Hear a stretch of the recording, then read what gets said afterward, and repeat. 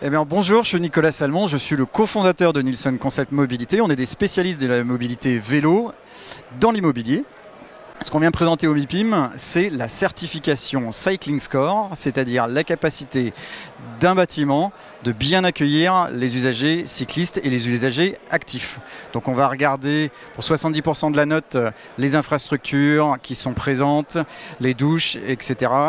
On va regarder pour 20% les services qui sont présents pour les usagers actifs et puis pour 10% la capacité du bâtiment à évoluer dans le futur.